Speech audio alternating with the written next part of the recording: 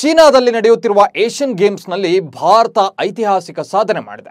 ಭಾರತೀಯ ಮಹಿಳಾ ಕ್ರಿಕೆಟ್ ತಂಡ ಏಷ್ಯನ್ ಗೇಮ್ಸ್ನಲ್ಲಿ ಚಿನ್ನದ ಪದಕ ಗೆದ್ದುಕೊಂಡಿದೆ. ಇದೇ ಮೊದಲ ಬಾರಿಗೆ ಮಹಿಳಾ ಕ್ರಿಕೆಟ್ ತಂಡ ಏಷ್ಯನ್ ಗೇಮ್ಸ್ನಲ್ಲಿ ಭಾಗವಹಿಸಿತ್ತು. ಚೊಚ್ಚಲ ಏಷ್ಯನ್ ಗೇಮ್ಸ್ನಲ್ಲಿ ಟೀಂ ಇಂಡಿಯಾ ಫೈನಲ್ನಲ್ಲಿ ಹತ್ತೊಂಬತ್ತು ರನ್ಗಳಿಂದ ಶ್ರೀಲಂಕಾವನ್ನು ಮಣಿಸಿದೆ. ಮೊದಲು ಬ್ಯಾಟಿಂಗ್ ಮಾಡಿದ ಟೀಂ ಇಂಡಿಯಾ ಇಪ್ಪತ್ತು ಓವರ್ಗಳಲ್ಲಿ ನೂರ ಹದಿನಾರು ರನ್ ಅಷ್ಟೇ ಗಳಿಸಿತ್ತು. ಆದರೆ ಭಾರತದ ಬೌಲರ್ಗಳು ಅಕ್ಷರಶಃ ಶ್ರೀಲಂಕಾ ಬ್ಯಾಟ್ಸ್ಮನ್ಗಳನ್ನು ಕಟ್ಟಿ ಹಾಕಿದರು ಅದರಲ್ಲೂ ಟಿಟಾ ಸದು ನಾಲ್ಕು ಓವರ್ಗಳಲ್ಲಿ ಆರು ರನ್ ಕೊಟ್ಟು ಮೂರು ವಿಕೆಟ್ ಪಡೆದರು.